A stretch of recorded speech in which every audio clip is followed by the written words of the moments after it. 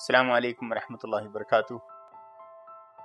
Uzair and Kashif, I'm happy with your work and it is a great job that you are doing and I congratulate on your work and efforts for the awareness about the asylum seekers, about asylum seeking in Hong Kong.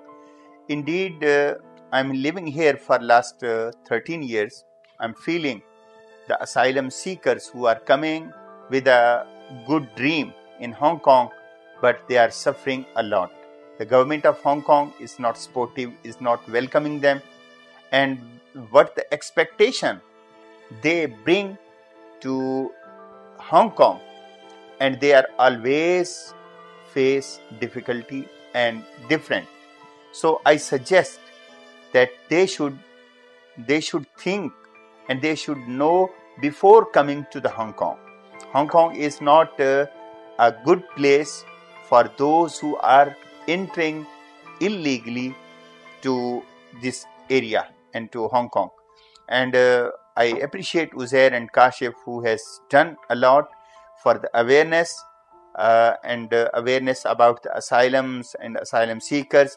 And the project is a big and I know uh, in detail. So they need to be supported.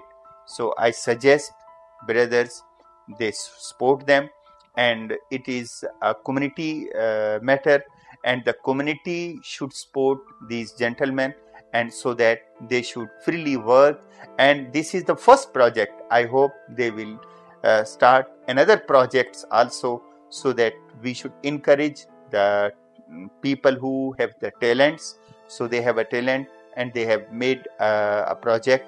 I appreciate and thank you very much uh, uzair and kashif for uh, taking this uh, job and for uh, for the awareness to the people and awareness to the asylum seekers. Thank you very much